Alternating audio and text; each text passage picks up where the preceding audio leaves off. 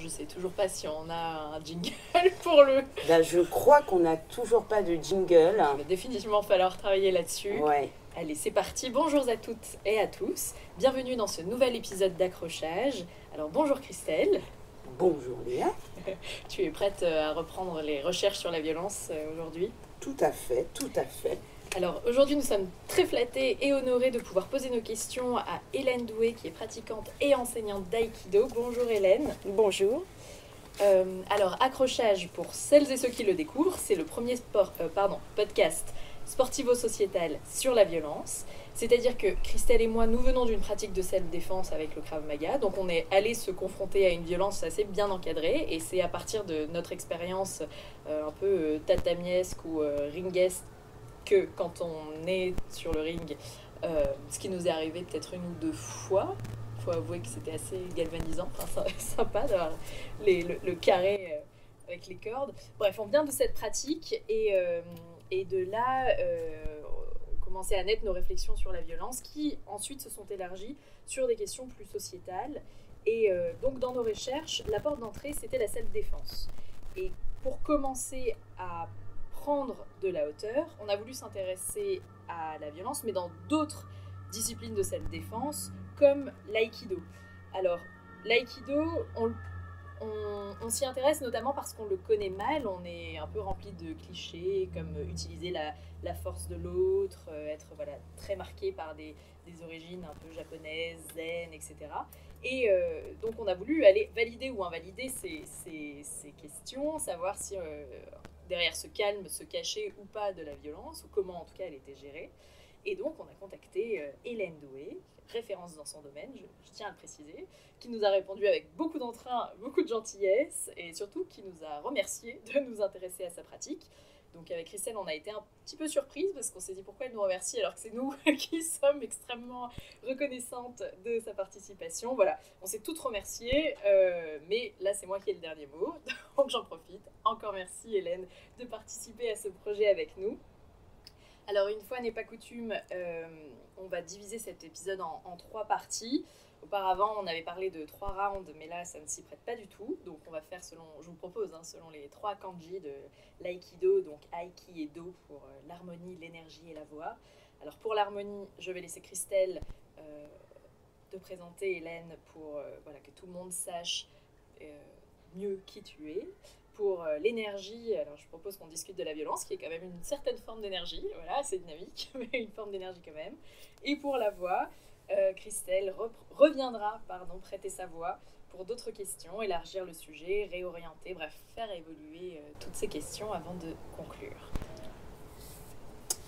Eh bien, nous voilà donc euh, partis pour la présentation d'Hélène Doué. Donc Hélène Doué, comment te présenter? Pourquoi je commence comme ça? Parce que elle est revenue de l'entretien préparatoire qu'elle a eu avec toi, ben, elle jubilait. Elle m'a parlé bien sûr du fait que tu sois cinquième dan en aïkido, Pour l'instant. pour l'instant, c'est-à-dire l'une des femmes les plus hautes gradées. Et c'est d'autant plus remarquable étant donné euh, ton âge que je peux me permettre de citer, Tout à 40 ans. Donc très jeune pour être déjà si hautement gradée.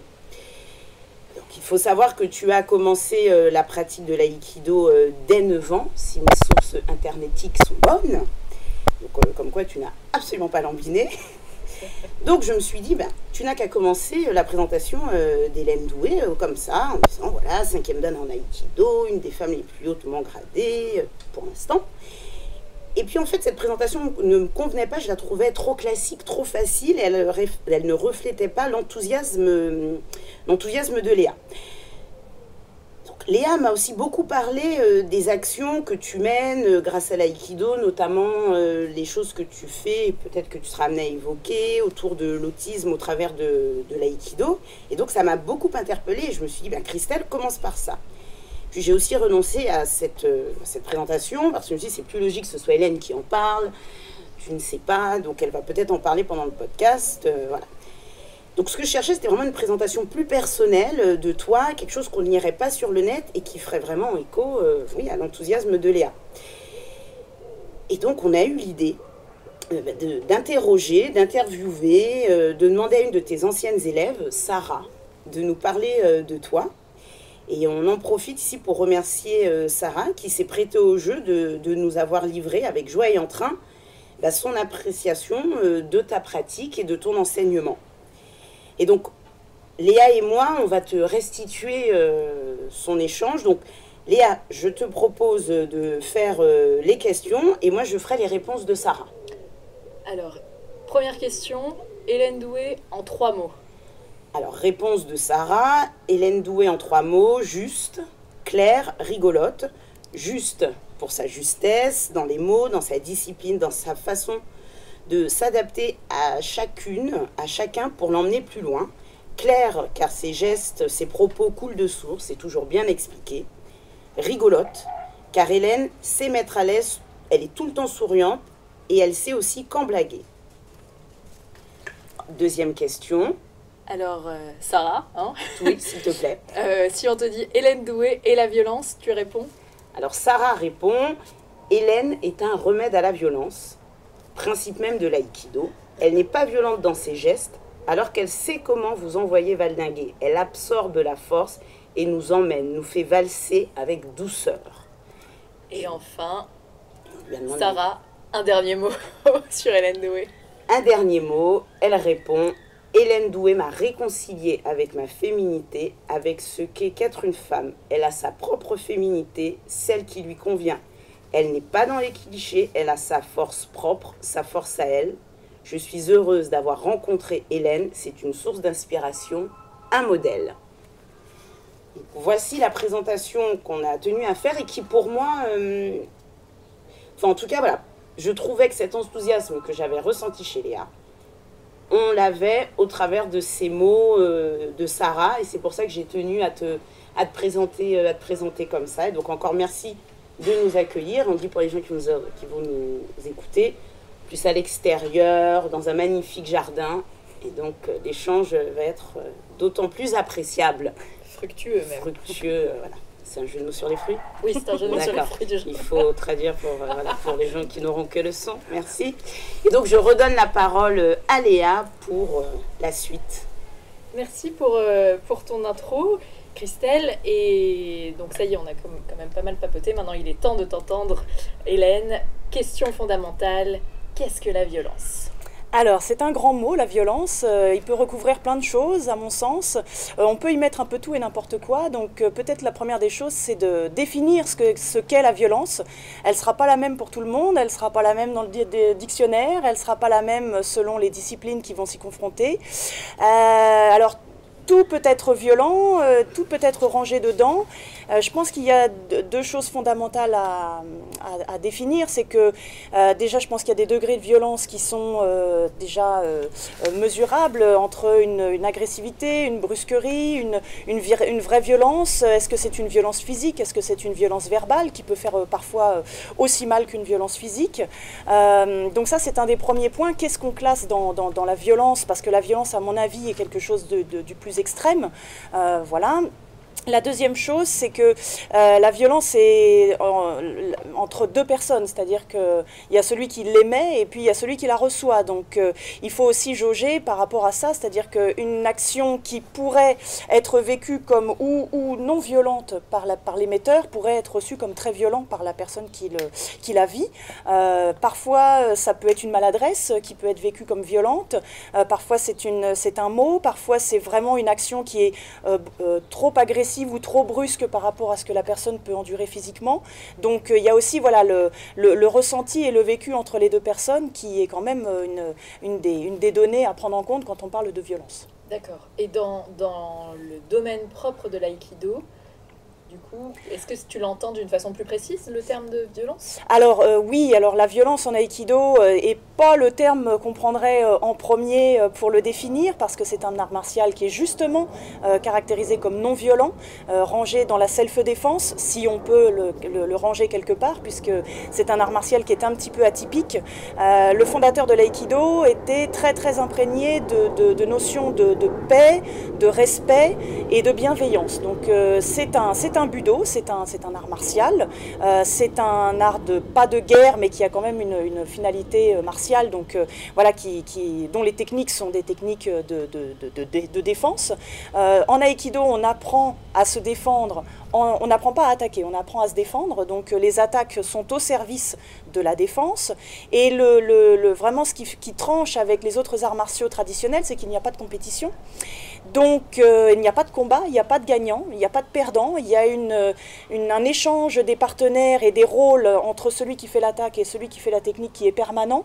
On a euh, le, seul moment où on éprouve un peu sa pratique, bon en dehors du tatami, ce sont les passages de grade qui sont des passages techniques. On a bien des moments dans la pratique qui s'appelle du randori, mais qui n'est pas le randori de judo. Euh, c'est-à-dire que le moment de randori pourrait s'appeler plus technique libre, pratique libre, pratique sans moins, avec moins de contraintes.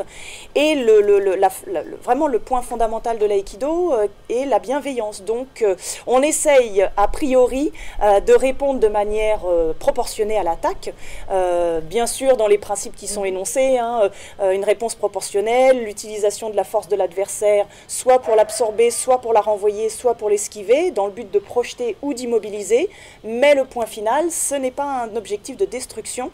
Euh, la technique d'aïkido est faite euh, pour euh, minimiser la casse, on va dire, voilà, de prendre soin, entre guillemets, de l'attaquant pour que le dissuader, l'empêcher, alors ça peut être très fort, hein, l'empêcher très fortement, très fermement, dénouer, déjouer son, son intention d'attaque, mais dans un respect de son intégrité. Donc on essaye de faire en sorte qu'il n'y ait pas trop de casse.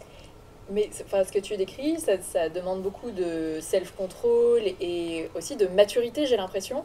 Donc je me demande, est-ce que les élèves arrivent vraiment à ne pas avoir de problème d'ego, d'imposer leur force à l'autre? Parce que les, utiliser la force de l'autre, ça veut, ça veut dire mettre un peu de côté la sienne quelque part.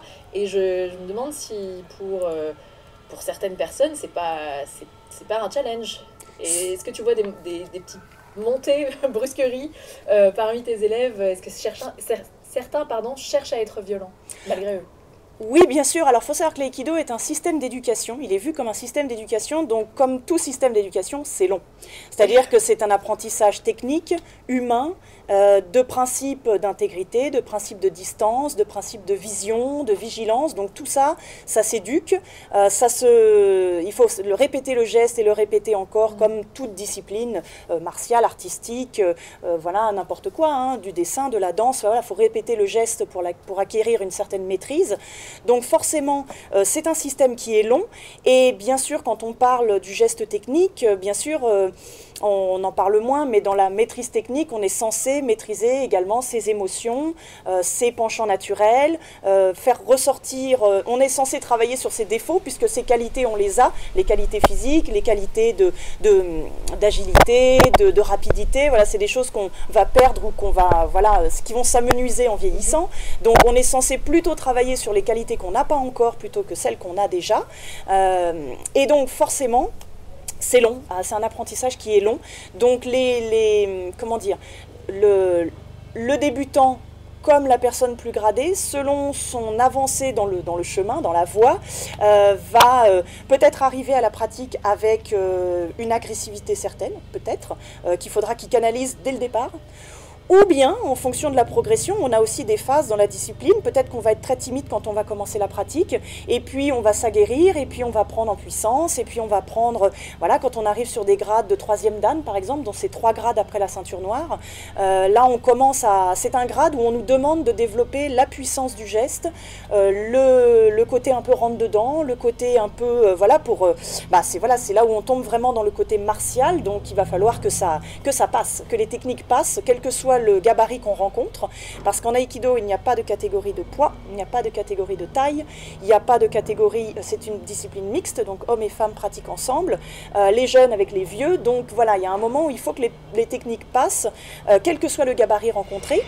Ce qui fait la richesse de l'aïkido, mais qui rend aussi le système long, parce que euh, voilà, on, est, on est fort avec les plus faibles que soi, généralement, et on est, on est plus faible avec les plus forts. Donc, euh, pour arriver à, à, trouver quelque chose qui soit euh, une pratique un peu, pas universelle, mais qui soit efficace, entre guillemets, avec un peu tout le monde, voilà, ça prend du temps. Donc, peut-être qu'il y a des gens qui vont arriver à la pratique avec des choses à canaliser, ou peut-être que ce sont des choses qui vont émerger de soi au fur et à mesure où on progresse, et donc peut-être quand on va arriver au troisième dan, ou peut-être quand on va prendre confiance, peut-être quand on a euh, un gabarit qui est assez fort, on va vouloir euh, euh, bah, utiliser la force, parce que si on en a, faut bien voir si ça marche ou pas. tout le but de la pratique, c'est de voir que oui, ça sert, mais pas que, et que c'est un atout, mais que c'est pas la, qualité ultime à avoir, les qualités techniques, les qualités de placement, de déplacement, de, de, vision, d'angle qu'on prend dans la pratique, voilà, au moment de l'attaque, de de, tout ce qui fait le, corps technique de la pratique, euh, bah, ça va venir compenser euh, les, penchants naturels qu'on aurait. Et donc, euh, oui, il va y avoir de l'agressivité qui va se manifester. Oui, il va y avoir peut-être un peu de violence parfois. et ça, ça se joue dans, l'espace du tatami. parfois, les gens vont vous surprendre parce qu'ils n'étaient pas du tout comme ça. Puis d'un coup, ils se disent tiens, si j'essayais un petit peu d'être brute, voir ce que ça me ferait, c'est ce que voilà, voilà, je me révèle un peu. on va pas se cacher que parfois la testostérone masculine a besoin de s'exprimer aussi. Parfois la testostérone féminine qu'on n'a pas, mais aussi euh, les filles aussi ont besoin de s'éprouver à un moment euh, avec les filles, avec les garçons. Euh, voilà, donc ça c'est des choses oui qui arrivent.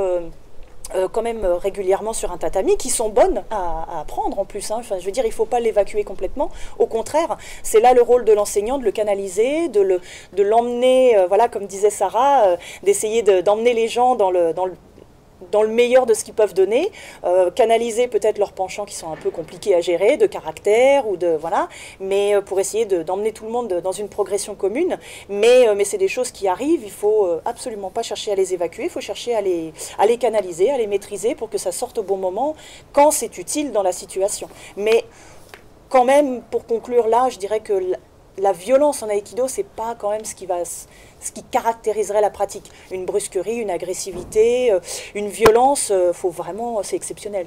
La violence, euh, moi, en plaçant le terme de violence dans ce qu'il y a de plus fort, mm. c'est quand même assez rare. C'est quand même assez rare. Euh, j'aimerais rebondir sur quelque chose que tu disais en, parlant du système d'apprentissage de l'aïkido qui est mixte euh, et qui confond à la fois les sexes, les âges, les gabarits. Euh, moi, tout de suite, ça tilte. Ah, ben tiens, c'est exactement ce qui se passe dans la rue. Parce que en se préparant dans les disciplines de self-défense, on se prépare en fait à des, à des formes de, bah, de violence, d'agression, de, voilà, des, situations, des situations conflictuelles, en tout cas, avec des inconnus. donc, est-ce que tu peux nous parler de euh, la l'aïkido hors du tatami. C'est-à-dire, est-ce que euh, euh, comment comment tu t'en sers ou comment tes élèves s'en servent dans la rue, comment ça apparaît, est-ce que ça t'aide sur un plan mental uniquement, physique également, finalement la violence qui est hors du tatami, comment l'aïkido se, la gère, la, contourne ou, ou ne la gère pas? Alors euh, justement, je vais rebondir sur ce que tu viens de dire. Comment est-ce qu'on la contourne ou est-ce comment est-ce qu'on va euh, on l'affronte. Donc ça, c'est un des grands principes de l'aïkido. On a des techniques d'esquive. Hein. L'aïkido est un art martial qui tourne beaucoup, avec beaucoup de, mouvements euh, de rotation, mhm. voilà, d'esquive. mais aussi, on a des mouvements qui rentrent dedans, des mouvements qu'on appelle irimi. c'est le fait en japonais de d'entrer, d'aller vers l'avant. voilà, donc on a les deux, on, on, a les deux possibilités. de même qu'on peut projeter ou immobiliser une personne. Voilà, c'est un peu toutes les facettes de notre, pratique.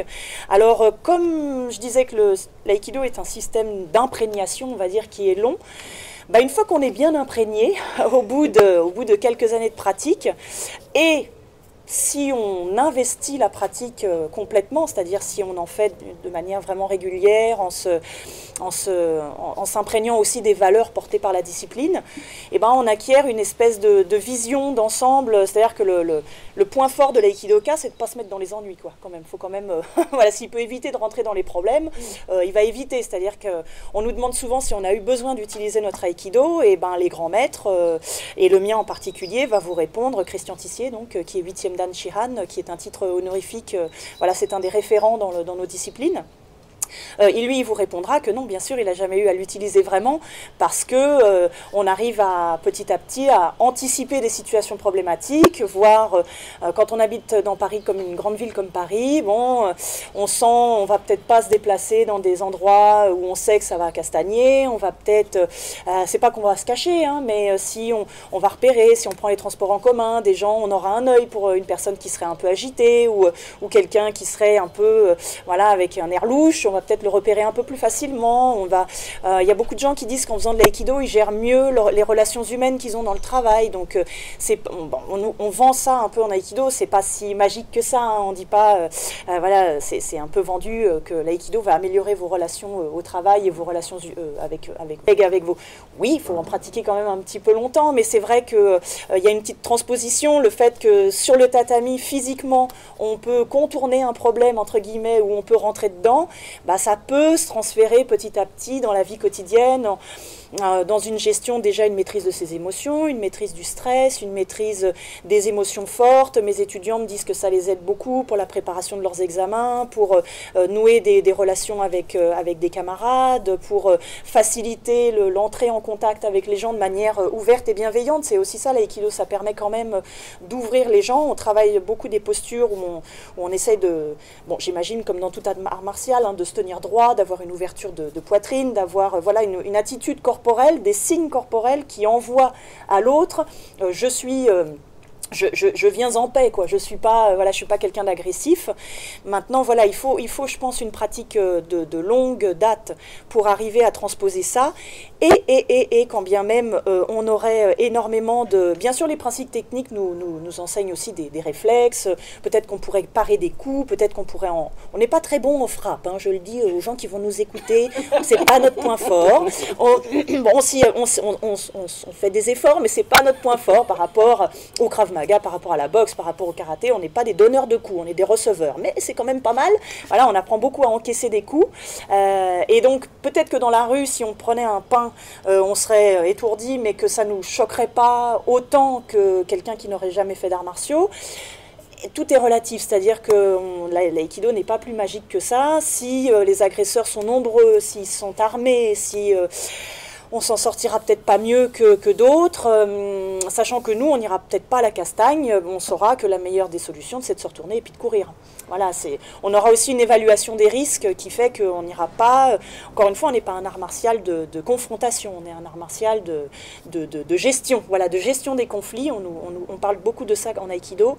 Euh, donc, et, et, une situation d'aïkido, c'est un, on le résume souvent par euh, un problème posée par l'attaquant, une, situation problématique euh, qu'on doit résoudre ensemble.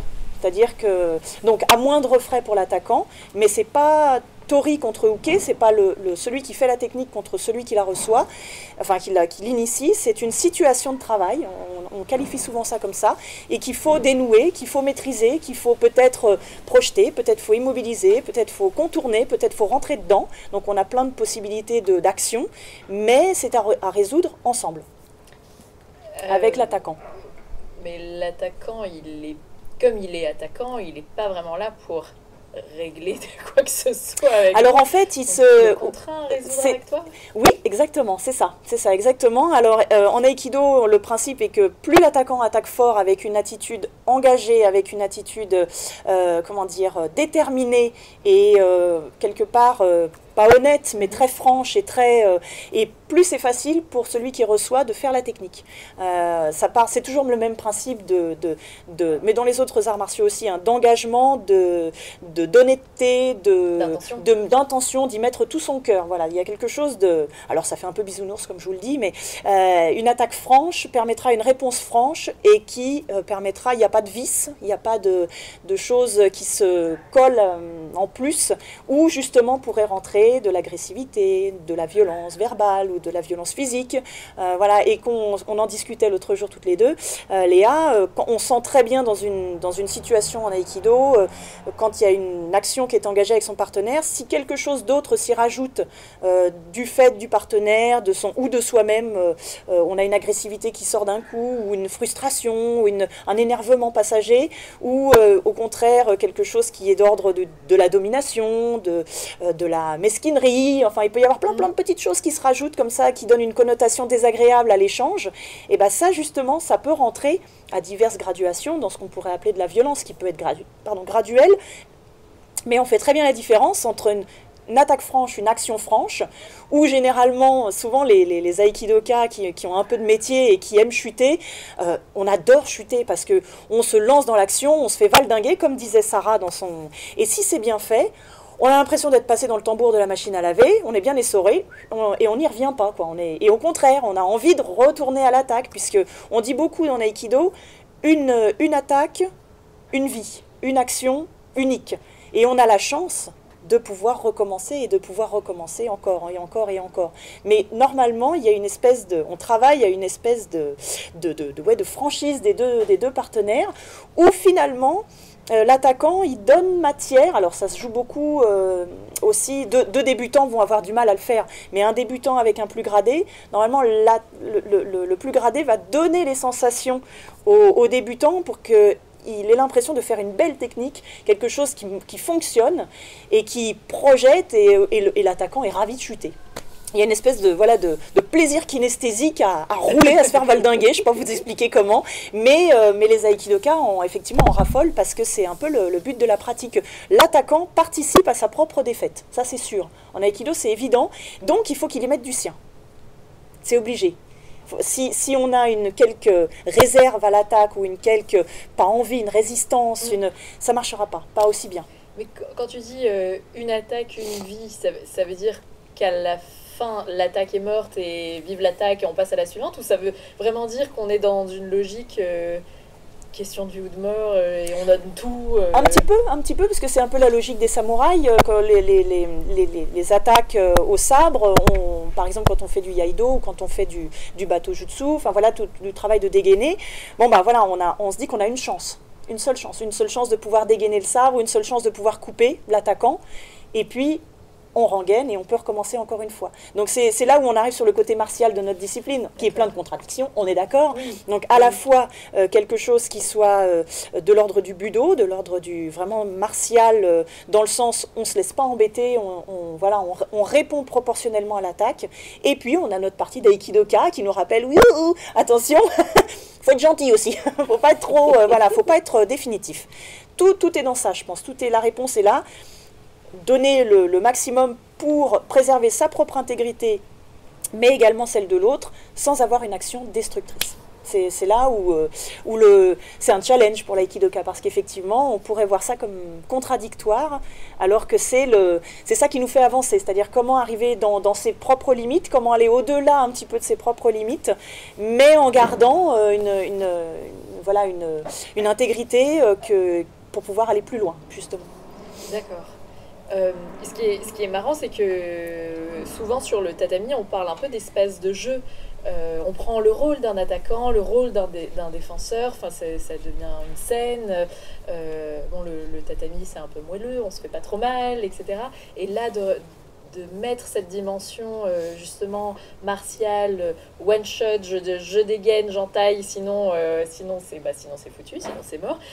Ça vient un peu en contradiction avec cet esprit joueur enfin, du coup, moi, je trouve ça, je trouve ça assez intéressant parce qu'on en parlait la dernière fois, enfin, quand on s'est vu, de la, dimension du jeu dans la, dans la pratique qui permet aussi d'appréhender la violence d'une façon un petit peu, euh, un petit peu plus cool. Et, euh, et du coup, je voulais revenir là-dessus aussi. Tu, tu avais parlé de ton passé avant d'être enseignant en Aikido. Donc, tu as étudié la science du jeu. Tout à fait.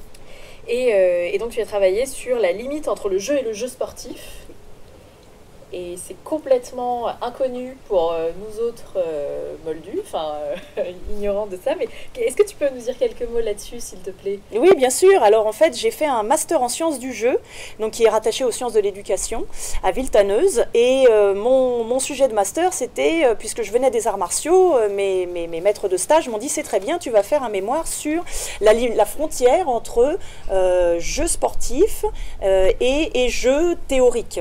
Donc bon, ça a pas été, ça a été un peu ardu à faire, je vous l'avoue, parce que c'était pas ce que j'avais envie de faire au départ. Je me suis dit comment je vais m'y prendre? Et en fait, j'ai interviewé des aikidoka. et donc, si on, si on résume, le jeu théorique, il, a des, il a une définition qui est, qui est très stricte, hein, puisque c'est, voilà, c'est, on est dans les études universitaires, donc on a un cadre fermé.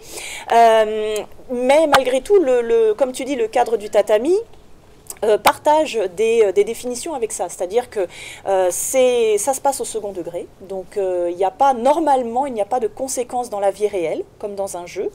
c'est un cadre particulier avec des règles particulières, c'est-à-dire que comme dans tout jeu, il y a des règles, il y a un espace de jeu et des règles. Là, l'espace de jeu, c'est le dojo, et les règles sont les règles données par la discipline et le cadre donné par l'enseignant. c'est très ritualisé, l'aïkido, il y a beaucoup de salut, comme dans d'autres arts martiaux, mais nous, on est encore peut-être encore plus respectueux dans, les, dans le rituel parce que ça nous donne un cadre qui est, euh, qui est très très clos, donc euh, qui permet de faire la part des choses entre la vie réelle et, le, et l'espace d'entraînement. Euh, il faut pour, jouer, il faut, il, faut, il faut des joueurs, c'est-à-dire que toute personne qui, qui sort du jeu ou qui n'a plus envie de jouer, ben, sort du jeu. Enfin, voilà, si, à un moment, c'est comme dans les bagarres à l'école, on adore tous à l'école jouer à la bagarre. donc il y a des études qui ont été faites, hein, des, des, gens qui ont observé des enfants qui se bagarrent dans la, dans la cour de l'école. le jeu s'arrête quand un des deux enfants qui, sort de, l'imaginaire, de la bagarre, ou qui se fait mal, ou qui pleure. Bon, bah nous, pendant les arts martiaux, c'est un peu ça. C'est-à-dire que tant que les deux partenaires sont d'accord pour jouer, entre guillemets, pour se mettre sur la tronche, eh ben euh, ça va. S'il y en a un des deux qui à un moment dit stop, c'est trop, ou, ne, ou sort de son rôle d'attaquant ou de défenseur et débordé, bon, bah là, on, sort un peu de, de, la, de la règle qu'on s'était mise au départ. Et, euh, et puis, il y a une possibilité aussi dans tout jeu de, de transgresser la règle, bien sûr. Donc, dans tout, euh, on, a, on connaît tous des tricheurs dans les jeux de société, on connaît tous, voilà, des tricheurs dans les jeux d'école. Eh bien, à l'aïkido, c'est la même chose dans les arts martiaux, c'est la même chose. On, change quelque peu les règles, on voit si l'autre l'a vu. Et c'est là aussi où on peut éprouver sa pratique, où on peut se mettre un petit peu plus sur la, sur la tête, on peut essayer de surprendre l'autre, on peut essayer, nous, dans, nos pratiques de juwaza, donc de pratique libre, on essaie de surprendre. Parfois, les rôles peuvent s'inverser. Parfois, celui qui était censé faire la défense bah, se retrouve attaquant. Enfin, voilà. Donc, il y a des phases, un peu de, travail libre. On a du travail aux armes aussi, où euh, les gens donc là, j'en reviens à mes interviews. Euh, les gens, euh, alors, ont, le sentiment par moment en aïkido de jouer. C'est-à-dire d'avoir de... Il y a beaucoup de... Donc la situation n'est pas vraiment un jeu stricto sensu, puisqu'il y a quand même euh, une dimension, on peut se blesser dans les arts martiaux, on peut... Euh, voilà, il y a, y, a, y, a, il y a quand même des, des, éléments qui nous sortent d'un jeu réel, sinon euh, on, ferait ça vraiment sur une... On fera, un jeu de société sur l'aïkido, voilà. D'ailleurs, peut-être ça pourrait exister, ça pourrait être sympa, mais, mais voilà, enfin le but c'est quand même l'affrontement physique, le, voilà, le, le, tatami en, lui-même. Donc tout n'est pas stricto sensu dans la théorie du jeu, euh, mais euh, malgré tout, le ressenti, le vocabulaire employé, le, le champ euh, lexical employé par les pratiquants d'aïkido qui ont un certain niveau, souvent, est souvent relié au ludique, au jeu. Alors qu'ils fassent des armes, qu'ils fassent une pratique libre, là, souvent, on entend ah oui, je m'amuse, je m'amuse comme un petit fou, c'est du jeu, c'est très ludique. Mon professeur, encore une fois, euh, quand il fait du jo, euh, comme un dieu d'ailleurs, il fait ça très, enfin, il est très très très très fort. Euh, pour lui, c'est ludique. Pour nous, c'est laborieux parce qu'on a beaucoup de mal techniquement à reproduire ses gestes, mais lui, il prend, on, sent qu'il y prend un plaisir fou et que pour lui, c'est à la fois une arme, c'est dangereux, hein, Joe, c'est donc un long bâton. Euh, on sent qu'il y a le côté, et c'est peut-être euh, justement le, ça résume bien cette image que j'ai en tête de voir mon professeur faire du Joe. On sent qu'il y prend un plaisir fou, que pour lui, c'est très ludique et à la fois c'est très martial et ça peut être très dangereux parce qu'un coup de Joe euh, mal placé peut ouvrir une arcade, peut casser une main, peut. Donc on est dans la frontière, on est vraiment vraiment dans la frontière à la fois de la martialité, du jeu. Euh, c'est, ça touche à des domaines voilà, qui, se, qui se correspondent et qui sont à la fois euh, euh, très différents les uns des autres. Mais voilà, ça m'a beaucoup intéressé de faire ce, ce, mémoire a posteriori, parce que ça m'a permis de réfléchir sur ma pratique et, et, de voir qu'effectivement c'est peut-être ça qui, euh, comment dire, qui résume euh, ce qui paraît un peu contradictoire en aïkido, qui est c'est à la fois euh, à la fois martial, mais dans un cadre plus ou moins sécurisé quand même, qui permet de faire émerger des tas de choses, d'expérimentation aussi. Le jeu est un grand lieu d'expérimentation, et donc voilà, ça ça, ça, ça, résume un peu les contradictions a priori qu'on pourrait voir comme ça de l'extérieur. D'accord. En fait, ce qui est, ce qui est moi, ce que j'ai l'impression de retenir là, là, où on en est, c'est que l'un des remèdes à la, à la violence euh, dont, parle, dont parle justement Sarah, c'est cette maîtrise. Parce que finalement, si tu maîtrises, euh, si tu te maîtrises, si tu maîtrises ta pratique, t'es plus en train de te faire violence et donc tu es en train de t'amuser.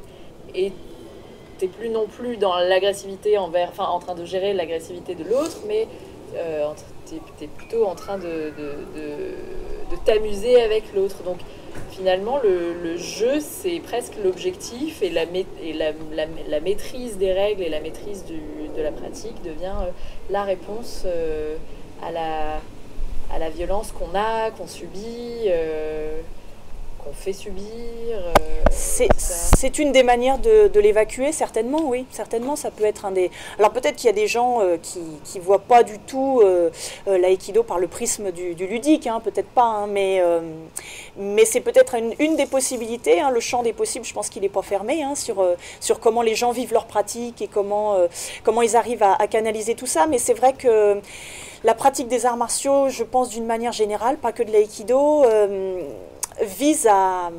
On, dit souvent que l'aïkido, comme le yoga d'ailleurs, euh, est une pratique de méditation en mouvement. Alors, euh, dit comme ça, c'est un peu abscon, mais, euh, mais de fait de, d'évacuer en permanence son trop-plein d'énergie, de, ou, de stimuler son, sa timidité, on va dire, de, de, travailler ses émotions, des émotions qui émergent. Quand on fait du zen, donc la pratique de zen, c'est, japonais, mais pas que, on a coutume de dire que il y a beaucoup d'émotions qu'on ne connaît pas de soi qui émergent comme ça mhm. et qui sont évacuées pour obtenir une certaine neutralité, une certaine équanimité, donc une neutralité des sentiments, des, des choses qui vous affectent ou des choses qui sortent de nous et qui affectent l'autre. Je pense que la pratique régulière des arts martiaux permet ça pas forcément de manière consciente, euh, de manière inconsciente, le fait de, de, se dépenser physiquement, d'expérimenter, des, surtout en aïkido, parce qu'il y a beaucoup d'échanges entre les partenaires, on change de partenaire tout le temps. Donc euh, du coup, on rencontre des gens avec qui on a envie de pratiquer, avec d'autres, on sait que waouh, on va passer cinq minutes laborieuses. Mais moi, j'ai souvent... Tant... ce que dit Christelle quand on combat ensemble. Ah ben, et en fait, moi, j'ai souvent tendance à dire à mes élèves que... Alors c'est vrai que c'est il faut prendre sur soi quand on pratique avec quelqu'un qui va être un peu dur ou quelqu'un avec qui on s'entend pas en dehors du tatami. Mais il faut y voir, alors avec le, avec le temps, hein, il faut y voir une, une possibilité de progresser. C'est-à-dire que avec quelqu'un qu'on avec qui on n'a pas d'affection particulière ou, ou, avec qui on sait que ça va mal se passer, c'est peut-être l'occasion au contraire de, sortir le grand jeu et de, si ça castagne, d'y aller franchement, parce qu'on n'aura pas de retenue, on n'aime pas l'autre. Donc euh, je dis ça, j'exagère le trait, hein, j'exagère le trait. Mais euh, ça peut être l'occasion de se défouler un bon coup. Ah bah celle-là, il l'aura pas volé, parce que de toute façon, il me gonfle. Quelque chose comme ça, d'accord? Euh, Et donc, ou, ou des gens qui vous présentent systématiquement des difficultés techniques, il faut que petit à petit ce soit des outils pédagogiques, on va dire, et qu'on y prenne du plaisir. Et c'est vrai qu'avec la progression, quand on rencontre une situation, euh, comme je disais tout à l'heure, le partenaire offre une situation de travail, elle peut être plus ou moins problématique, parfois problématique plus plus. Et bien avec l'expérience, on se dit chouette, on va y aller, on va y aller, et on y va avec enthousiasme. Alors qu'au début, on va y aller avec en, freinant des cas de fer, parce qu'on se dit oh là là, je vais me prendre une tannée ou euh, je vais m'ennuyer, ou euh, alors voilà, ça peut être aussi un des des travers de la pratique que parfois les gens expérimentés n'ont pas envie de travailler avec les débutants, par exemple, parce qu'ils se disent Waouh, il ne saura pas mettre un pied devant l'autre, ça va être embêtant. Alors qu'en fait, non, le débutant va avoir des, réactions spontanées, naturelles, non, euh, codifiées. Et donc, euh, au contraire, ça peut être l'occasion de, faire quelque chose d'intéressant à deux et d'emmener le débutant quelque part avec soi. Enfin bon, voilà, il y a plein plein de possibilités, mais il faut du temps pour trouver avec d'avoir cette espèce de... Puis ça dépend de la journée qu'on a eue, et puis ça dépend si on est fatigué, si on est malade, si on n'est pas bien. Mais d'arriver sur le tatami en se disant, bon, alors, quelle moisson d'expérimentation de, de, on va faire euh, C'est peut-être une des possibilités aussi de ne voilà, de pas être envahi par euh, les sentiments des autres, de ne pas envahir les autres avec ses propres journées. C'est aussi pour ça qu'on met un kimono blanc tous. On est... Euh, c'est encore une des règles du jeu, quoi. C'est-à-dire on est tous normalement sur le même euh, pied d'égalité. On, vient avec euh, normalement quand on salue le tatami, on oublie sa journée, on met son kekogi, on voilà, on enfile sa ceinture et normalement on est dans l'ici et maintenant. Et on est dans la pratique, donc qu'est-ce qui va se passer maintenant? Mm. Et on essaye de ne pas y mettre, euh, de, de, surrajouter des sentiments en plus. Alors ça, c'est difficile, hein, et, et c'est long, et, et, je pense que ça peut pas être, enfin, on peut en avoir conscience, on peut en avoir une euh, envie d'aller dans ce sens, mais on peut pas, euh, c'est pas le, comment dire, c'est pas le mental qui va permettre ça, c'est le physique, c'est la technique. Tu parlais tout à l'heure du yoga Iyengar. Mm hors micro, euh, ben, je pense qu'Yengar, euh, il, euh, tout était posture pour lui, tout passait par la technique. Et par la technique, on accédait au mental. C'est exactement ça. Voilà, et donc ben, le courant d'aïkido que je suis, c'est ça. On fait de la technique, on sue, on ne sait pas toujours pourquoi, mais on doit, il faut qu'on aime ça. Et la partie mystique, la partie mentale, la partie psychique, la partie de, voilà, de toutes nos aspirations viendra avec la pratique tous les, tous les sensei que je connais euh, nous disent il faut chuter, il faut faire chuter, et à un moment, il faut essayer de comprendre ce qu'on fait. Je pense que nous, occidentaux, on a une tendance à trop verbaliser, mentaliser, essayer de comprendre, essayer d'analyser. On a un esprit analytique, hein, euh, à la différence de, l'Orient. Euh, on prend les choses un peu dans l'autre sens. Puis on est, on est très pédagogue, donc on explique beaucoup les choses. Bon, ça, c'est ses inconvénients et ses avantages, mais, euh, mais souvent, moi je dis à mes élèves, ne cherche pas à comprendre. Il faut, tu fais confiance à ton enseignant, il est là pour ça, normalement. Normalement, il devrait te guider comme il faut sur la voie, à ton rythme, à ton à, ton, ta vitesse d'intégration de, de, des choses, mais il ne faut pas trop chercher à comprendre ce qu'on fait.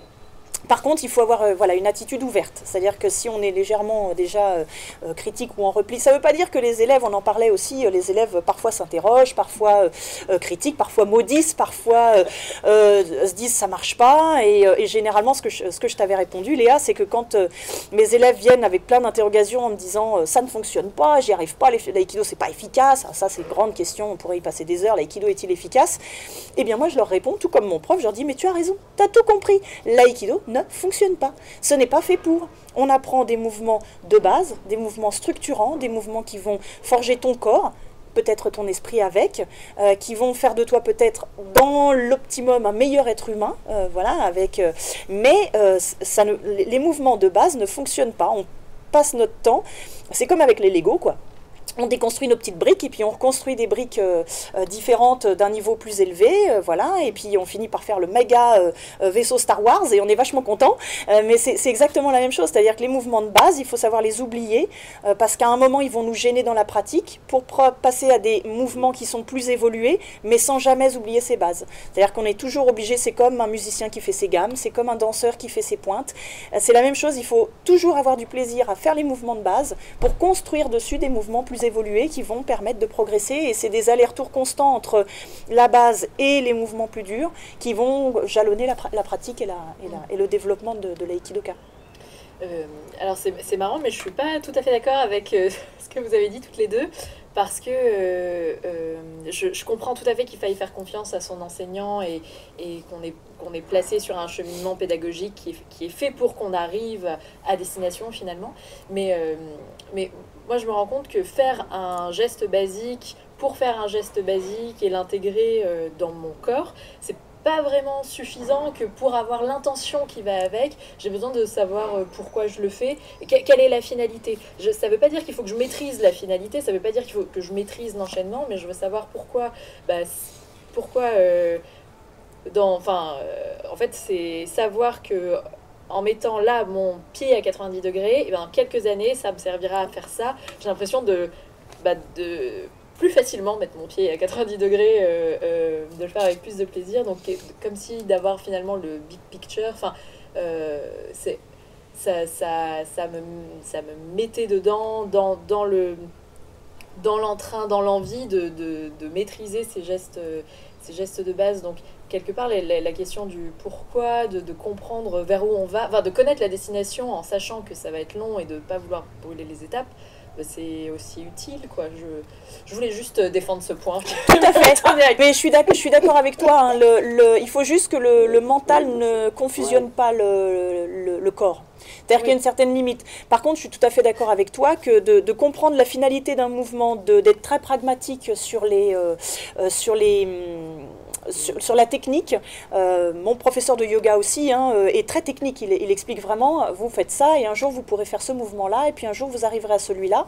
Euh, et, mais ça, c'est le cheminement pédagogique, c'est-à-dire que c'est pas comment dire, c'est pas noyé d'informations sur trop de détails techniques, mhm. trop de et, de même le, pratiquant doit suivre juste ce qui est donné par l'enseignant. Effectivement, il faut que, mais sans euh, avoir un encombrement psychique, on va dire, qui, euh, qui la réflexion nuit à l'action, quoi, grosso modo.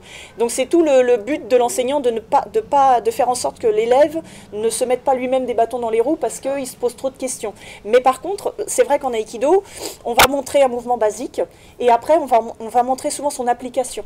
On va montrer le mouvement très dynamique ou on va le montrer de manière beaucoup plus vite et on va expliquer après, on va revenir en disant voilà, si vous mettez votre pied comme ça, pour reprendre l'expression, eh bien ça va vous permettre de déclencher votre action et de le faire. Mais ça, c'est vraiment le, le, le, déroulé pédagogique, on va dire. Et là, ce que je pensais précédemment, c'est que euh, c'est de ne pas noyer de trop d'informations de, les, élèves. Par exemple, un gradé qui voudrait bien faire et qui noierait un débutant d'informations, euh, le débutant, il ne sait plus quoi faire. quoi. Alors que pourtant, il lui a expliqué que ça va être super bien pour lui, que sa vie va être meilleure, mais sauf que ça prend 10 minutes et que le pratiquant, il est là, et qu'après, il va passer avec un autre gradé qui va lui dire Ouais, non, il faut que tu fasses l'inverse et tout, ça va être génial. Et là, là ça commence à noyer, à noyer le, message initial. Mais je suis d'accord que il nous faut un il nous faut quand même un message euh, et il nous faut des explications parce qu'on on en a besoin pour progresser euh, et que c'est voilà, c'est tout le but de l'enseignant. De, là, ça, ça c'est le boulot de l'enseignant de bien gérer ça, pour euh, ne pas avoir un espèce de machin, parce que l'inverse de ne rien expliquer, ça pourrait être des trucs complètement mystiques, euh,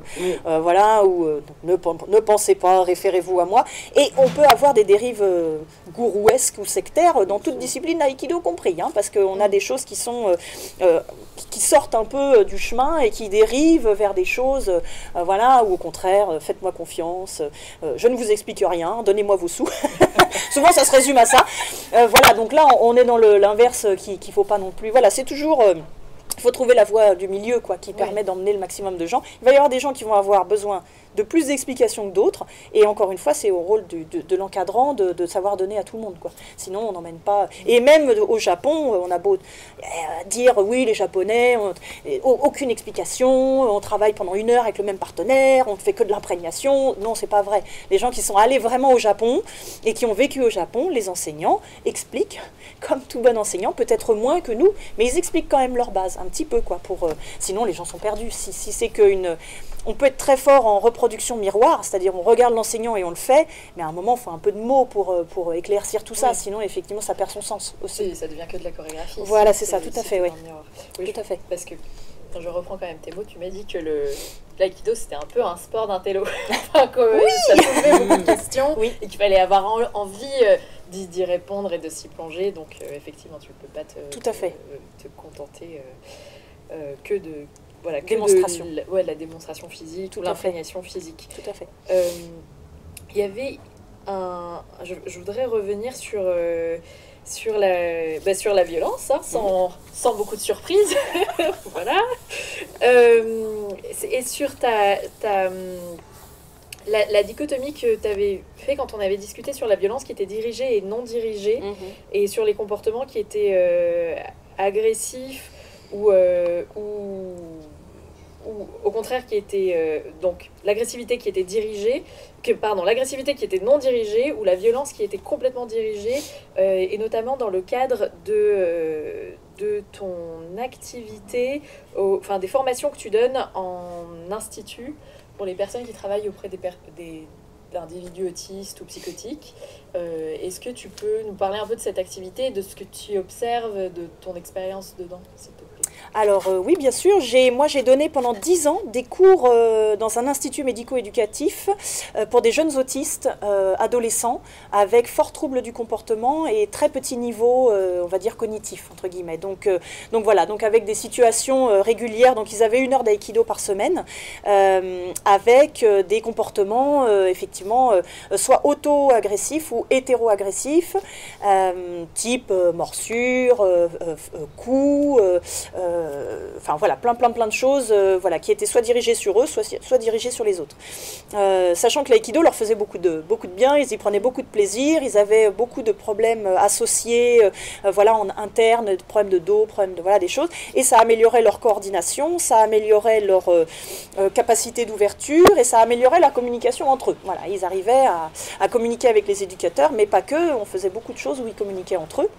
Et petit à petit, je me suis mise à donner des formations sur toute l'île de France, que je continue d'ailleurs, euh, en institut médico-éducatif, en CESAD, en femmes, enfin toutes les structures qui accueillent un public autiste, parce que tout simplement, ils ont beaucoup d'accidents du travail euh, dans, le, dans, leur, euh, alors de, dans tout le personnel, hein, du directeur jusqu'aux dames de cantine. Ah voilà, je, je, forme vraiment tout, tout, tout le personnel qui est en contact.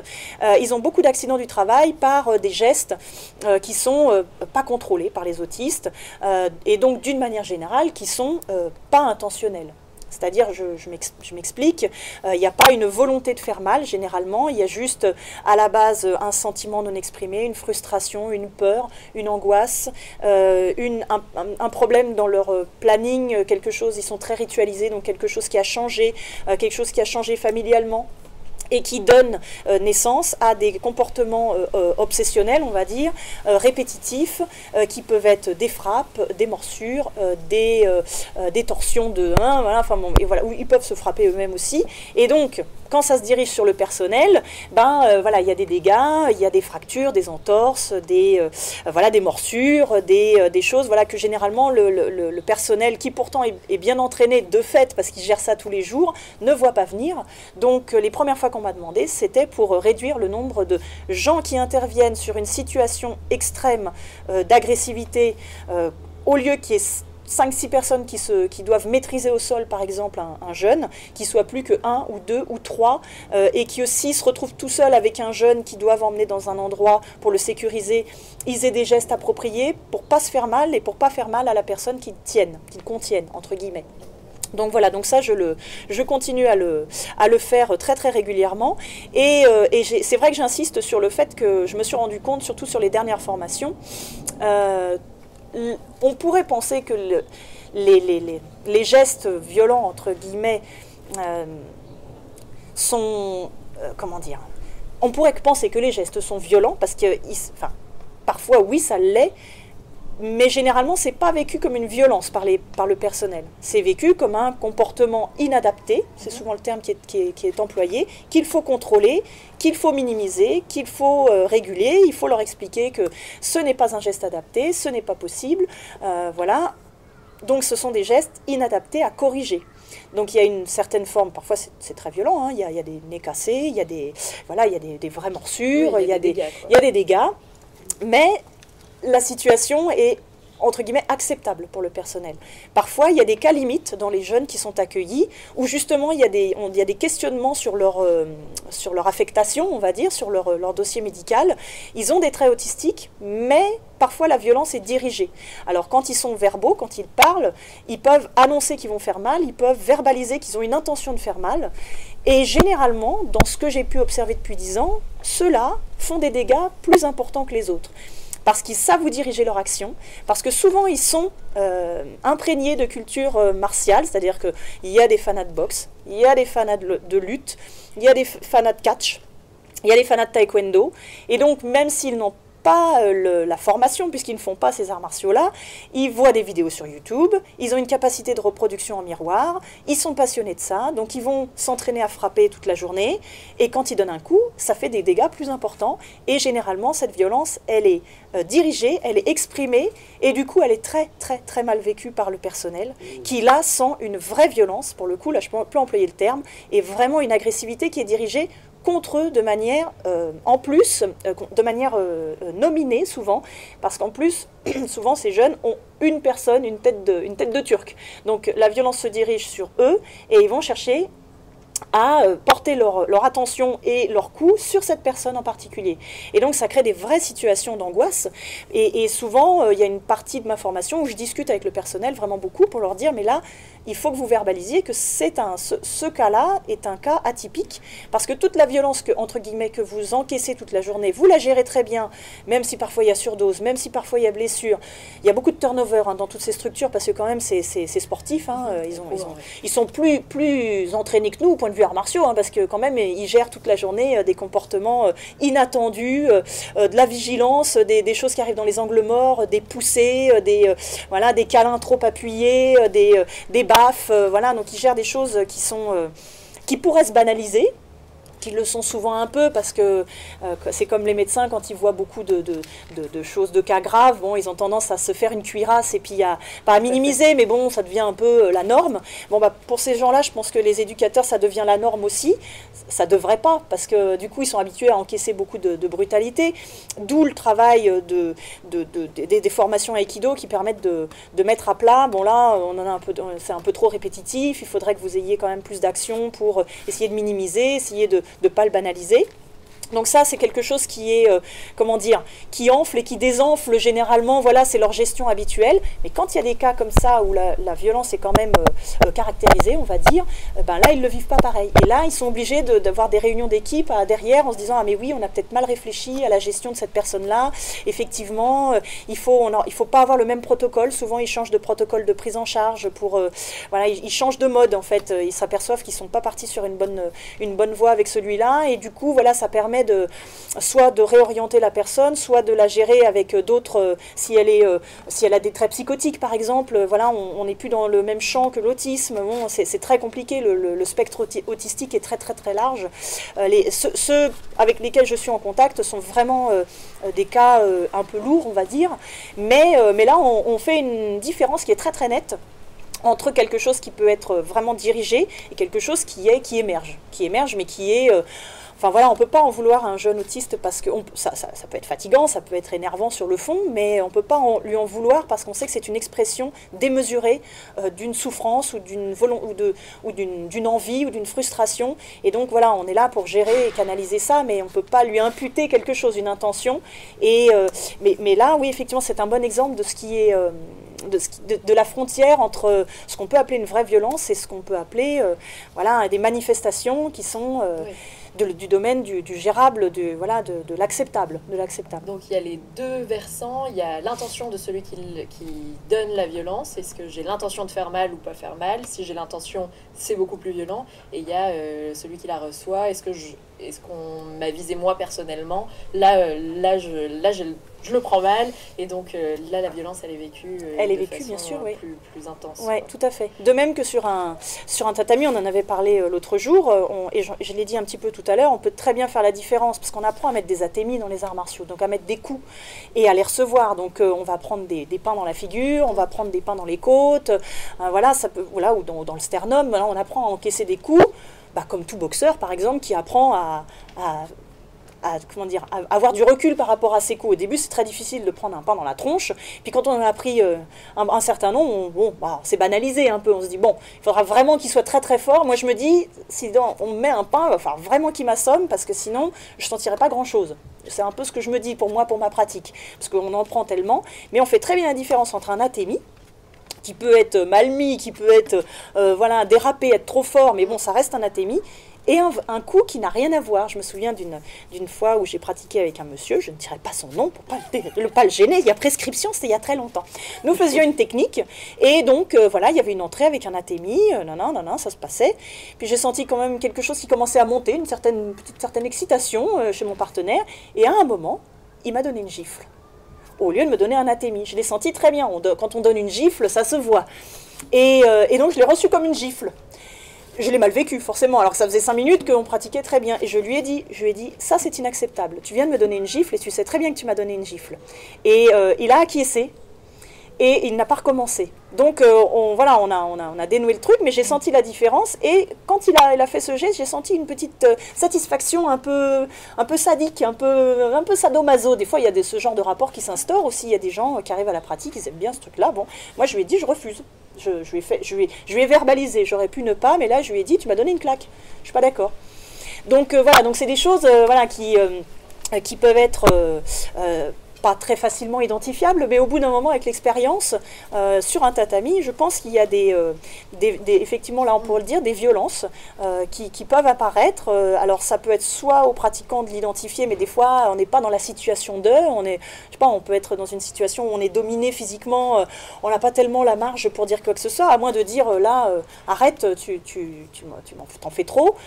mais là, c'est au rôle de l'enseignant aussi de, de, déceler ce genre de petites choses pour, que, pour, pour désamorcer les conflits euh, et, je rebondis sur quelque chose, peut-être tu me demanderas après. On parlait aussi de. En ce moment, il y a beaucoup de, choses sur les discriminations, sur les, violences faites aux femmes, les, euh, euh, voilà, nous, dans notre, dans notre mixité de pratiques en aïkido, voilà, il y a plein, plein de petites choses qui, peuvent se, qui pourraient se mettre en place entre les hommes et les femmes, entre, entre les hommes entre eux qui ont envie de se bagarrer, entre les femmes qui ont envie de se crêper le chignon, entre, il pourrait y avoir plein, plein, de, voilà, des, des, plein de petites choses comme ça qui pourraient s'amorcer. et ben, quand on est extérieur, quand on est, quand on est encadrant, on voit assez vite quand la situation dérape. En fait, ça se voit de l'extérieur quand la pratique, la pratique peut être intense, elle peut être brutale, elle peut être. Mais si les deux sont ok, ça va. On est d'accord, on se pousse sur la tronche, on est d'accord. S'il commence à y avoir un déséquilibre dans la relation entre les deux partenaires, euh, de l'intérieur, on n'est pas forcément en capacité de, de l'identifier ou de le dire, mais de l'extérieur, ça se voit. Ça se voit assez clairement quand on est enseignant c'est assez rassurant de t'entendre dire ça parce que c'est vrai qu'en tant que débutant, on peut ressentir. Euh, euh, enfin, on peut faire des exercices avec des gens plus expérimentés et puis parfois prendre des coups qui sont un peu plus forts que ce qu'on s'attendait à prendre. Et alors là, enfin, je sais pas pour toi Christelle, mais moi là c'est le vaste océan du doute. C'est-à-dire que je me demande est-ce que la personne a conscience de ce qu'elle m'a fait, est-ce qu'elle l'a fait exprès, pas fait exprès, que c'était euh, voulu? Est-ce que, est que, en tant que débutant, euh, avec un intermédiaire ou quelqu'un de plus gradé, je, représente une espèce de, menace? Enfin, Est-ce que la personne veut asseoir sa supériorité et a fait exprès de mettre le petit chouillard en plus de, puissance ou de violence pour bien, pour bien être sûr qu'elle qu'elle dominait, etc. Est-ce que c'est parce que je suis une fille? Euh, et donc là, je, me pose un, milliard de questions euh, à ce moment-là, en, en, ne réalisant pas si moi je l'ai déjà fait avec quelqu'un d'autre euh, ou pas. Et donc je me dis peut-être que c'est inconscient. Donc finalement, et à ce moment-là, en général, j'ai pris deux trois coups en plus. Donc je me dis arrête de te poser les questions. voilà. et j'adore travailler C'est génial. c'est génial. Mais, euh, en travaillant avec Christelle, en tout cas, je sais qu'on se met des coups beaucoup plus forts qu'avec d'autres personnes parce qu'il y a une. Euh, c'est, il, y a, il y a beaucoup de bienveillance et en fait, euh, je, me suis rendu compte que toutes ces questions, je me les posais pas en travaillant avec certaines personnes, je me les posais avec, en travaillant avec d'autres personnes. Et donc, voilà, c'est est-ce que c'est moi qui suis parano et d'où ça vient, etc. Donc, moi, j'ai tellement pas de réponse, j'attends juste d'expérimenter, euh, que finalement c'est rassurant de savoir mm. que c'est visible de l'extérieur, mm. que l'animosité euh, plus que, mm. plus que l'enthousiasme en fait peut, peut, peut, se voir. Parce qu'en plus on est un peu déformé entre le fait qu'on respire hyper fort, qu'on est protège-dents, enfin je veux dire, et qu'on soit complètement en action, on se dit même dans le langage corporel, qu'est-ce que les gens voient? Enfin, euh, y a, je ne m'attendais pas à ce que ça puisse être aussi visible. Si, si, ça se, ça se voit. Normalement, c'est tout le rôle de, de l'encadrant et c'est lui qui assure le cadre de la pratique hein, et le, cadre du, euh, à la fois moral et, physique. Donc, euh, en principe, c'est le job du, du, prof de voir euh, quelles, sont les situations qui posent pas de problème et quelles sont les situations où là, il serait peut-être temps de changer de partenaire ou de, ou de remonter les bretelles à machin parce que il le fait systématiquement. Enfin, voilà, il y, y, a plein de petits signes qui doivent. Et, et puis, en tant que pratiquant, au début, c'est normal, on est, on est dans un bain, on se rend on peut pas se rendre compte, c'est pas possible. On n'a pas le discernement pour voir s'il y a eu intention derrière ou pas. Puis avec l'expérience, ça va venir. Oui, ça va venir aussi. Après, il faut le courage de, faire ce que tu as fait, c'est-à-dire dire stop, c'est inacceptable. C'est ah, inacceptable.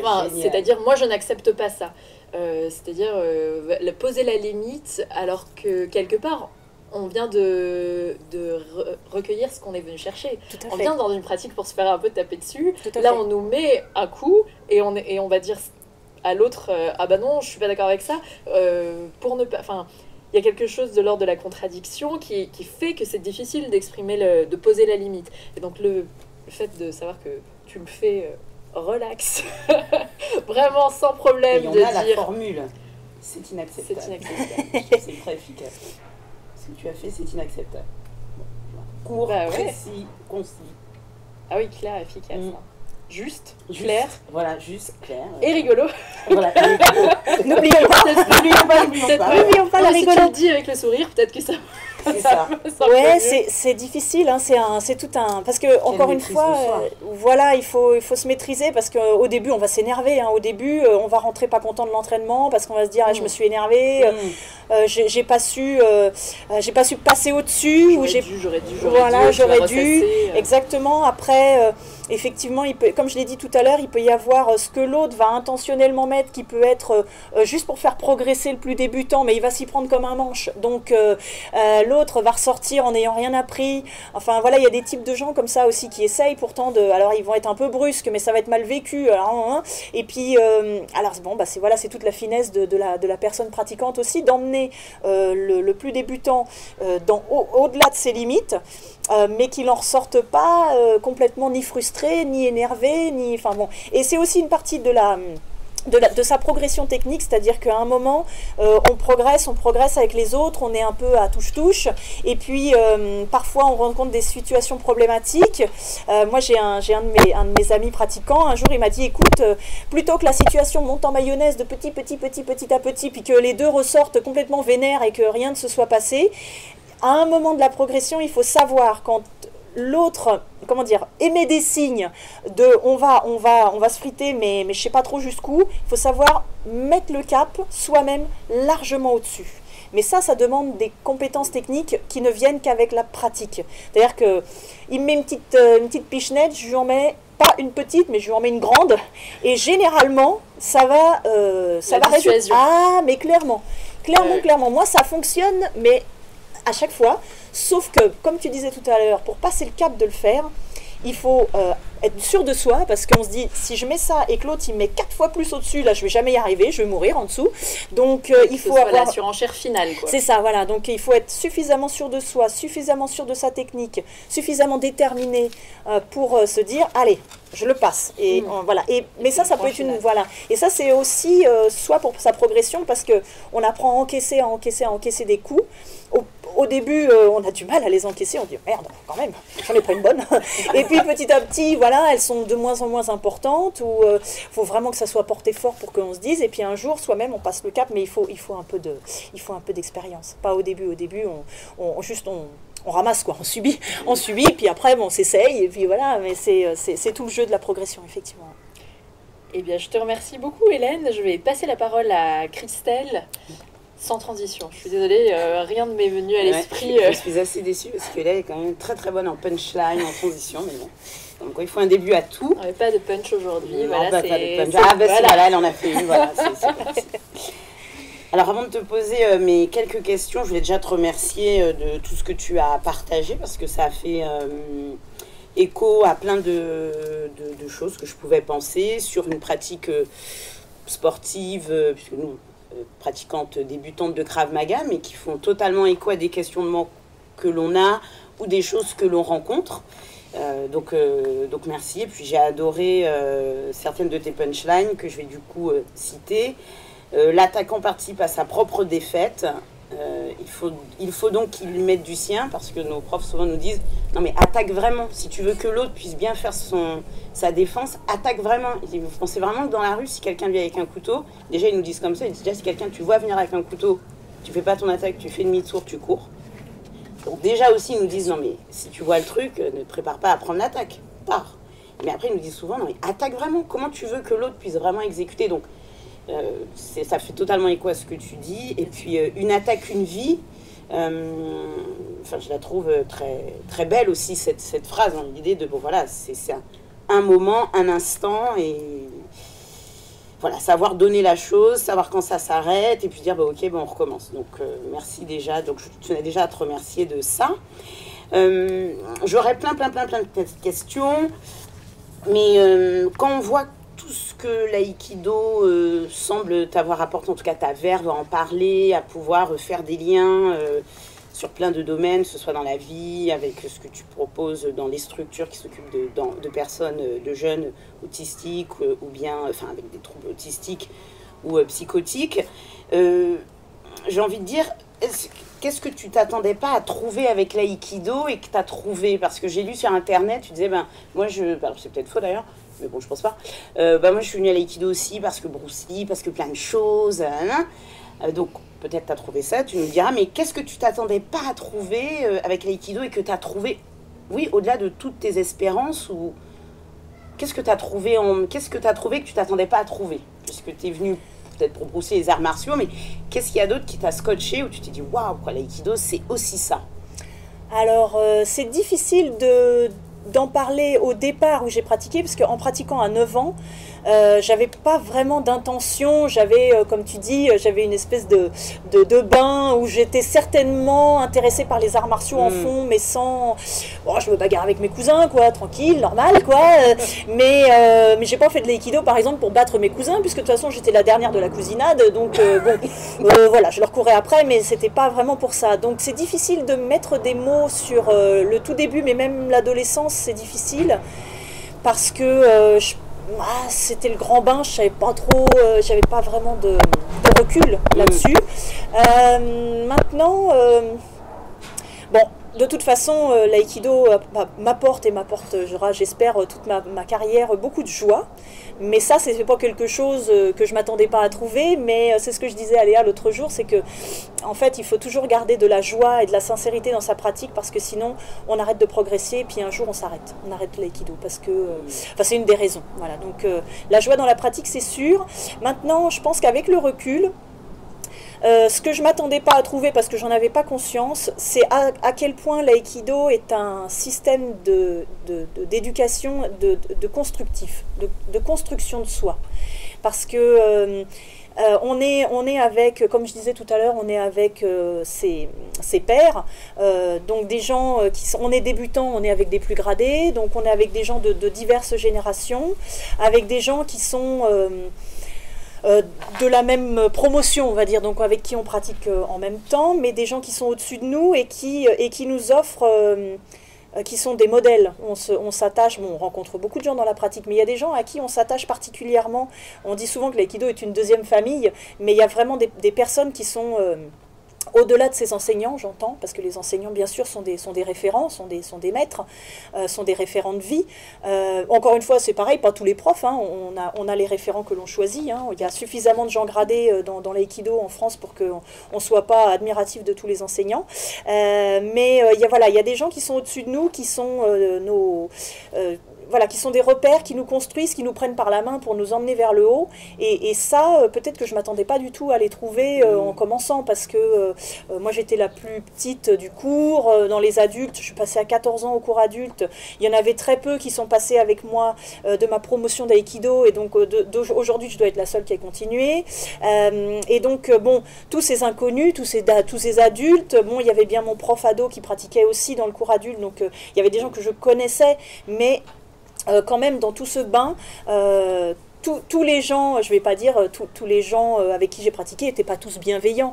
Il y, a, eu, j'ai eu des expériences, voilà, de, discrimination féminine, de voilà, mais qui, finalement ne m'ont pas fait arrêter l'aïkido, parce que on se rend compte, même si c'est pas verbalisé, même si c'est pas conscient, que ces gens-là, les gens qui, nous font des misères physiquement ou verbalement, et ceux-là sont pas dans le vrai, sont pas dans quelque chose de constructif, sont dans quelque chose qui est pas intéressant.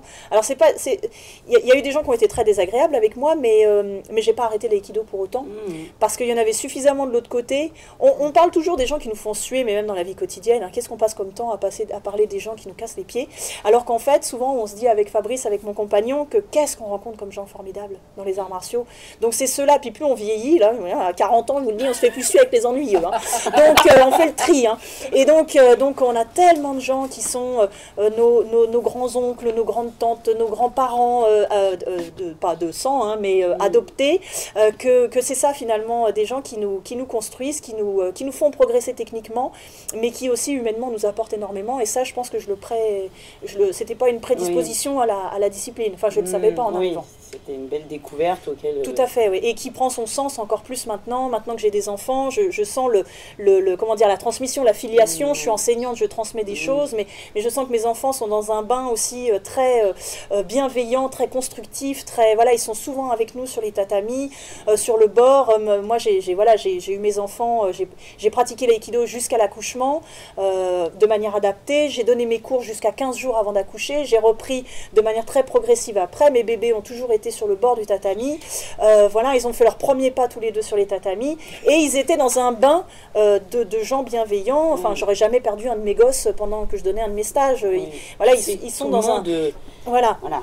Ils sont dans quelque chose qui les construit aussi. Ils ont, ils ont dans leur petit âge, ils ont aujourd'hui 4 ans et 7 ans, euh, voilà, ils ont des gens comme Sarah, voilà, que, que vous connaissez, euh, qui sont des référents déjà pour eux, qui sont des gens sur lesquels euh, ils, se, ils se reposent, qui les font rêver, qui les font jouer, qui les font... Donc voilà, ça c'est quelque chose que l'aïkido, alors peut-être d'autres arts martiaux, peut-être que d'autres disciplines, mais ça c'est quelque chose effectivement je ne prévoyais pas au départ. D'accord.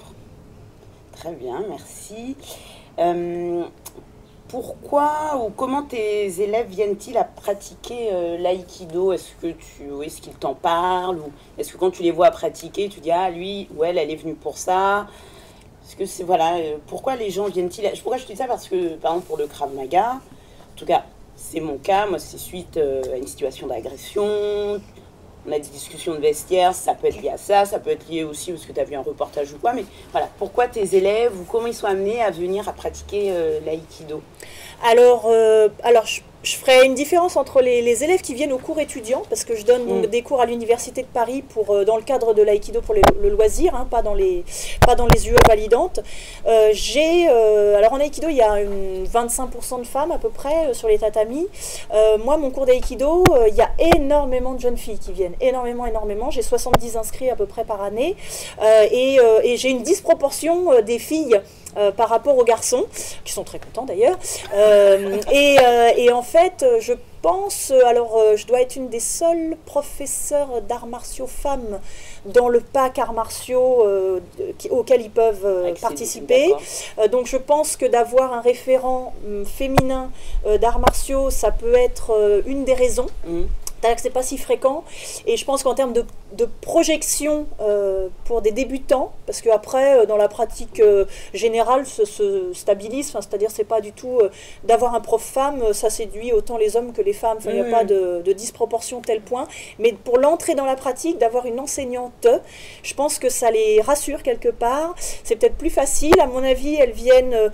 Euh, principalement pour faire une activité physique, pour euh, euh, améliorer leur, leur gestion d'énergie d'une manière générale entre études et pratiques, parce que c'est des, des étudiants qui d'une manière générale passent beaucoup de temps devant les ordinateurs, donc euh, ils ont besoin d'avoir une activité physique. Certainement, cer- beaucoup sont plutôt timides, plutôt réservés, plutôt euh, euh, bon élève. J'ai beaucoup de scientifiques, beaucoup de, filles qui assurent que elles ont elles carburent, hein, mes filles. hein. Et, euh, et donc, euh, je pense que c'est un moyen de, prendre de l'assurance, ça c'est sûr, de, s'ouvrir, d'être plus. Et les garçons aussi, hein, parce que. Je vous oublie pas les gars. Euh, ils sont aussi euh, voilà souvent très euh, très timides, très voilà donc ça leur permet à la fois de, de rencontrer du, du monde, de, de, voilà de se socialiser. C'est Mhm. quand même un des facteurs qui tout ça peut être équivalent aussi aux cours que je donne en club. hein. C'est-à-dire que les gens ils ont besoin de voilà comme dans toute activité hein, de rencontrer du monde. Après pour les pour la pratique en club, j'ai certainement des gens qui viennent dans une recherche de, de défense de self-défense, je pense que un des gros, gros, gros arguments quand même, c'est qu'il n'y ait pas de compétition. C'est vraiment le truc, Mhm.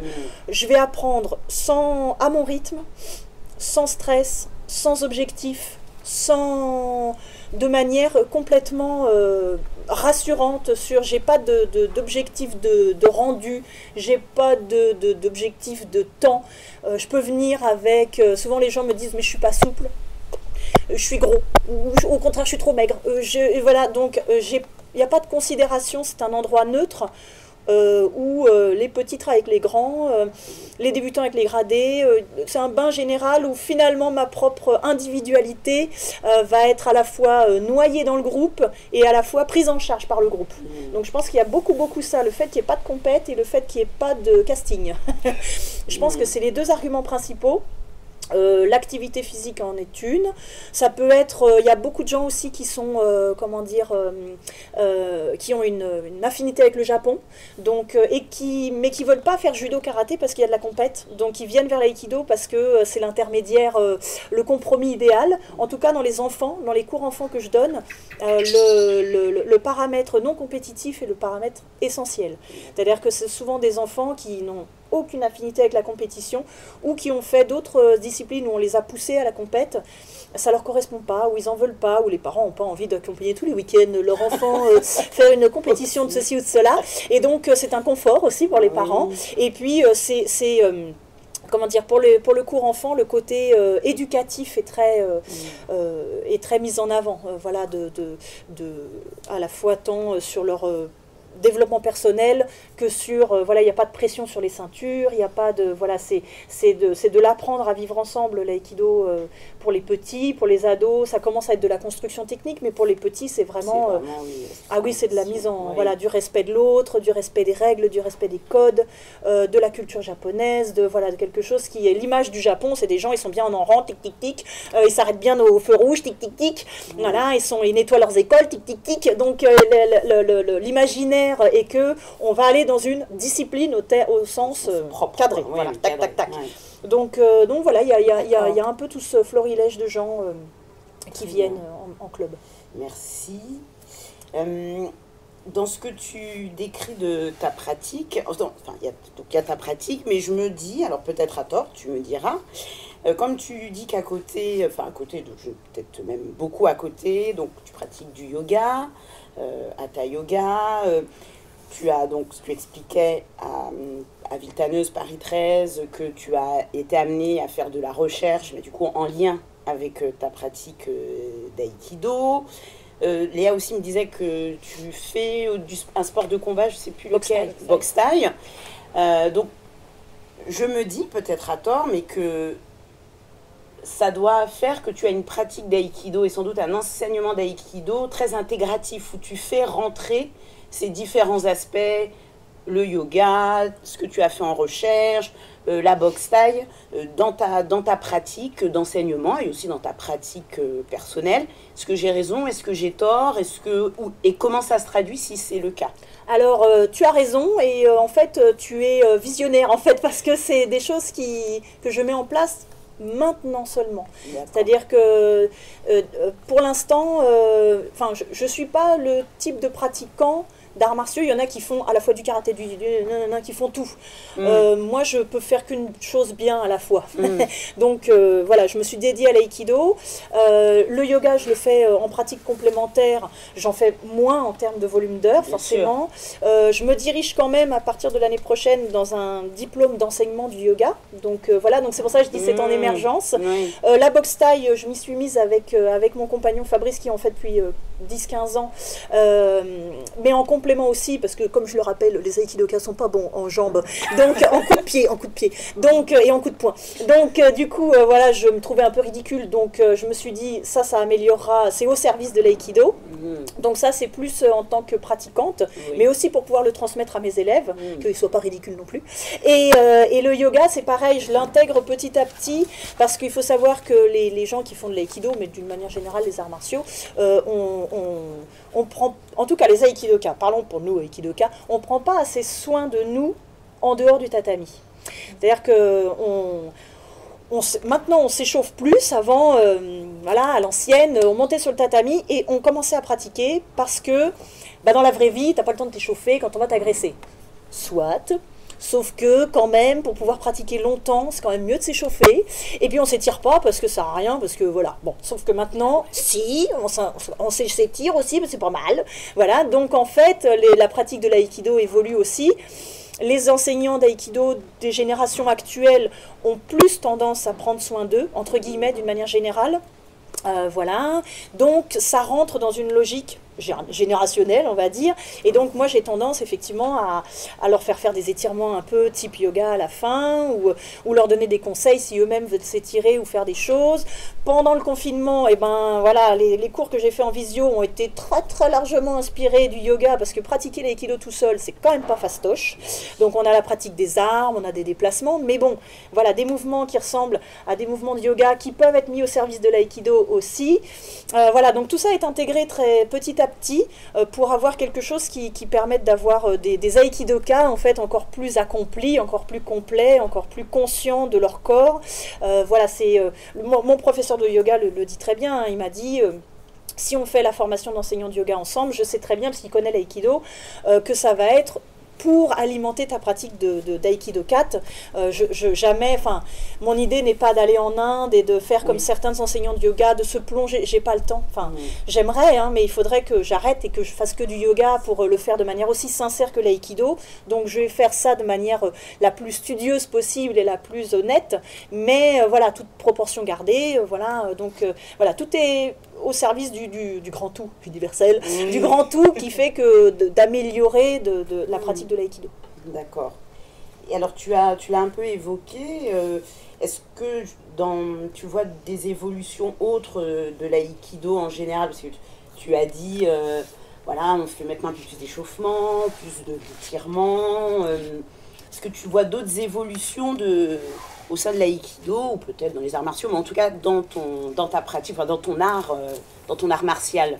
Comment ça a évolué? Est-ce que tu vois d'autres évolutions euh, euh, que, tu, oui, que tu notes Oui, alors un, professeur d'aïkido me disait un jour que l'aïkido devient de, de, plus en plus technique. Alors, c'est pas facile à comprendre comme ça de but en blanc, mais lui-même disait Ouais, nous, quand on était jeunes, on n'était pas technique, très technique. On se foutait sur la gueule, on était heureux, mais euh, on n'était pas très technique. Il dit, vous, génération d'Aikidoka euh, de, de maintenant, vous êtes tout aussi efficace, mais vous avez gagné en précision technique.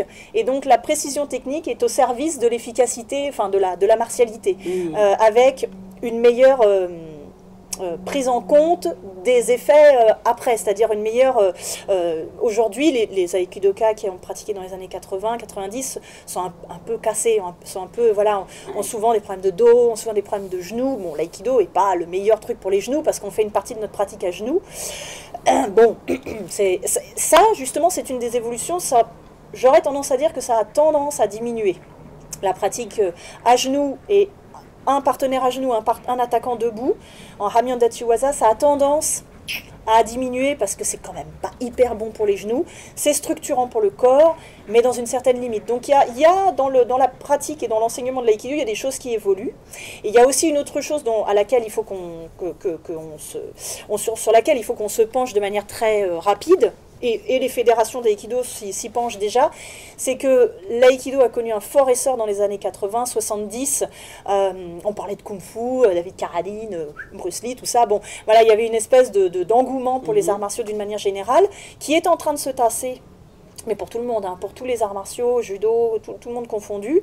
Alors il y a une émergence de, de nouvelles pratiques euh, comme le self-défense, comme le Krav Maga, euh, comme le MMA, voilà, qui sont des choses de, générationnelles aussi, hein, qui sont aussi des réponses à, à, la vie actuelle, voilà, euh, mm. au climat parfois anxiogène, aux, aux, agressions, voilà, pendant, après les, les attentats, de, de, voilà, il y a énormément de demandes sur le Krav Maga, bien sûr. Moi aussi j'ai eu des demandes après les attentats du Bataclan et tout ça Enfin bon, donc il y, a des choses qui sont dans l'air du temps aussi, mais les arts martiaux traditionnels vieillissent un peu, donc on a des pratiquants dont la, la moyenne d'âge augmente.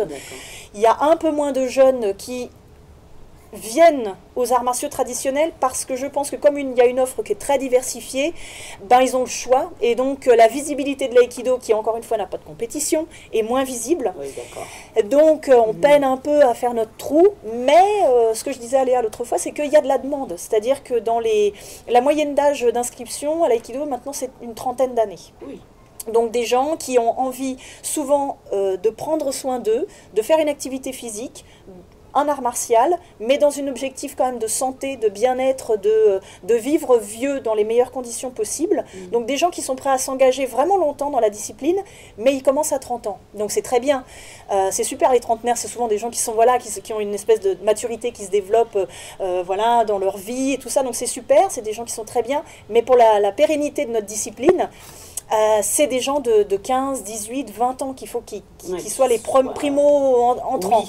donc euh, mm. voilà, moi je, suis d'une nature optimiste, donc j'ai tendance à me dire qu'il faut qu'on rénove notre manière de présenter l'aïkido de manière plus moderne, de manière plus pragmatique, mm. de manière plus Parce que, euh, je disais à Léa, euh, il y a, euh, il y a des, des occurrences aïkido euh, dans les... C'est quelque chose qui fait exotique et qui plaît bien. Par exemple, dans Jumanji, le film, il y a un des, des personnages de, de- du, du jeu vidéo, ses compétences, c'est aïkido. Bon, bah ça, ça plaît aux jeunes. Dans la série Casa des Papel, il y a un épisode qui s'appelle Aïkido parce que le mec qui veut braquer la banque, il présente le, le- le plan de, de casse de la banque avec les, les thématiques de l'aïkido. Bon, là, c'est un peu tiré par les cheveux, je suis d'accord. Mais quand même, Ouais. on parle d'aïkido, il y, a- il y a quelque chose. Et puis moi, dans mes, dans mes jeunes qui s'inscrivent, euh, il y, a une- il y a une fascination pour le Japon qui reste très présente. Les Japonais adorent la France euh, et, les, et les Français adorent le Japon. Une, une partie de la population adore le Japon Oui. Voilà, il y a une espèce de... de- mais, mais tout, hein, le- la culture, le- les, les jeux vidéo, Mmh. les, les, les enfants adorent les, dessins animés japonais, les Pokémon, les... Enfin bon, bref, on est dedans, là, moi je suis à fond dedans. Donc quand je vois euh, des, des, des, plus- des personnes plus anciennes c'est c'est une question de génération à mon sens. Il n'y a pas contradiction, j'ai juste. Mais quand je vois des, des- des pratiquants âgés qui me disent euh, l'aïkido c'est fini, on parle plus du Japon, on parle plus, euh, c'était mieux avant, ça c'est un truc d'ancien. hein. Euh, voilà, euh, euh, euh, aujourd'hui le, le Japon, l'aïkido n'intéresse plus personne. Je suis pas d'accord. À chaque fois je me bats, je leur dis mais si, on a notre public, mais il faut aller le toucher Oui. et avec les bons arguments. Donc, euh, donc là, le vrai challenge, c'est d'arriver à recruter. Euh, pour les enfants, on a, on a régulièrement, euh, ça, ça se renouvelle, on, on a une bonne partie de, de public enfant, mais il faut quand même aller le chercher. Mais dans les, dans les 18-25 ans, là, on a un vrai, euh, un Oui, vrai il y a un challenge. gap. Je souligne euh, juste que Oui. tu, que tu euh, participes à cette intégration des publics avec les, travail, les travaux pardon, que tu fais auprès d'associations. Oui, Ça, c'est quelque chose dont tu m'avais parlé. Oui, euh, on en avait parlé. En fait, euh, je, je me suis rendu compte, alors il faudrait, faudrait étudier le sujet. Euh, là, c'est plus sur le, le- le côté mixité de notre, de notre discipline. Donc l'aïkido se pratique euh, hommes-femmes euh, confondus. Mais je me suis rendu compte par... on connaît énormément de gens à l'étranger, on a beaucoup beaucoup d'aïkidokas de par le monde avec qui on est. Avec les réseaux sociaux, aujourd'hui c'est très facile. Puis nous, on se déplace beaucoup aussi à l'étranger, donc on, on rencontre des aïkidokas de tout pays confondus et de tout style. Euh, je me suis aperçue d'une manière générale dans mon club, dans les gens, dans les jeunes qui viennent euh, aux cours étudiants, qu'il y avait énormément de pratiquants qui sont euh, issus de la communauté LGBT. Mais vraiment, hein. LGBT, donc euh, juste pour. voilà donc gays, lesbiennes Oui, et, lesbiens, trans, trans et associés. Et donc je me suis dit, il y a quand même quelque chose euh, à faire là-dessus. Notre discipline est mixte. Alors on parle souvent, euh, nos fédérations parlent souvent de la mixité homme-femme, mais moi je me suis dit, il faut qu'on élargisse le débat euh, plus large, c'est-à-dire que l'aïkido est encore une fois, de par sa nature, un lieu bienveillant, un lieu sans compétition, un lieu neutre comme dans tous les arts martiaux où on est tous en blanc, euh, un lieu qui, permet euh, de, faire venir des tas de gens différents, comme je le disais tout à l'heure, de gabarits, de, milieux sociaux avec une certaine euh, limite, parce que encore une fois, c'est vrai que euh, l'aïkido tape plus dans les CSP qui sont plutôt élevés, plutôt, plutôt, c'est plutôt un, une discipline de citadins, voilà. Mais malgré tout, je me rends compte qu'on a beaucoup aussi d'amis à l'étranger qui sont des pratiquants de beau niveau, de haut niveau et très engagés dans leur discipline, et qui sont gays, lesbiennes et autres. Et donc, euh, je me suis dit, il faut faire quelque chose là-dessus, il faut ouvrir cette mixité, parce que c'est, j'ai participé à la, hum, comment dire, euh, c'était pas les JO, c'était un, un- comment dire, c'était organisé par un, organe euh, euh, déconcentré des JO, la, pas euh, je- ça va me revenir tout à l'heure, où euh, j'ai fait une démonstration et initiation à l'aïkido. Je vais participer aussi certainement l'année prochaine au TIP, donc c'est le tournoi international de Paris qui est organisé par la FSGL, c'est la Fédération des sports gays et lesbiens. Et donc voilà, pour faire, pour faire connaître l'aïkido, pour faire participer les gens.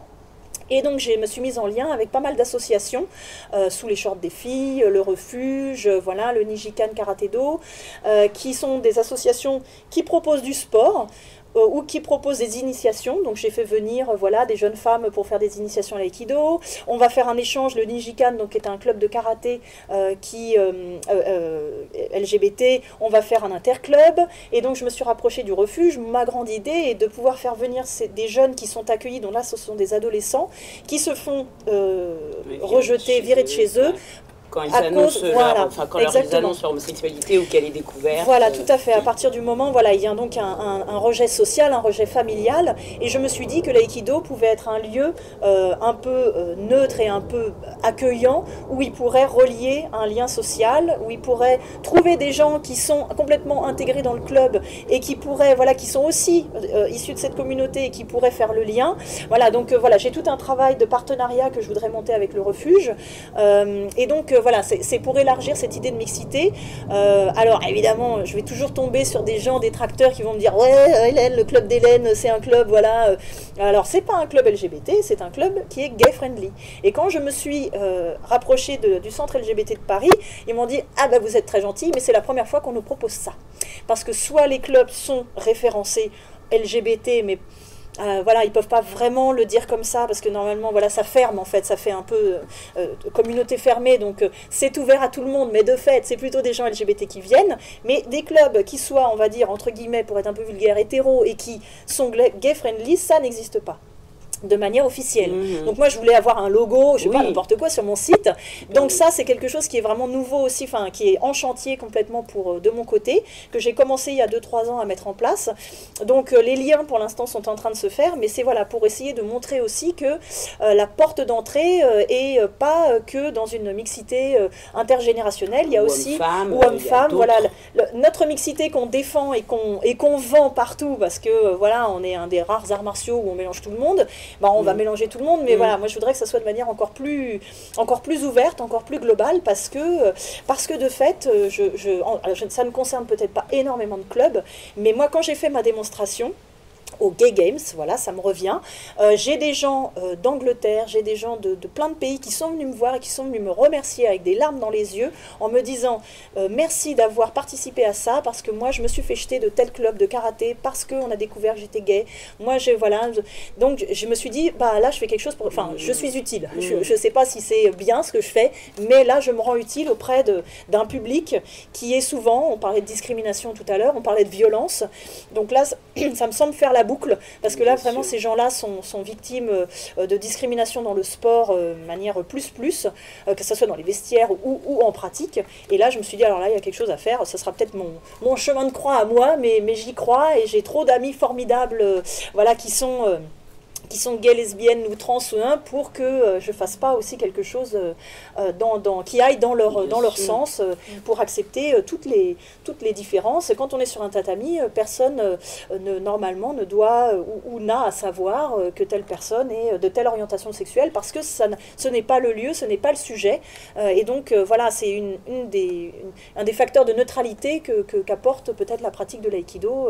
Voilà, quand, quand ils sortent du tatami, peut-être qu'ils sont confrontés à des choses qui sont vraiment pas drôles, mais si sur l'espace du temps du dojo, de l'heure de cours et euh, plus largement, s'il y a une communauté euh, non LGBT qui peut les accueillir, euh, voilà, euh, à ce moment-là, et ben, eh ben moi j'aurais gagné mon truc, quoi.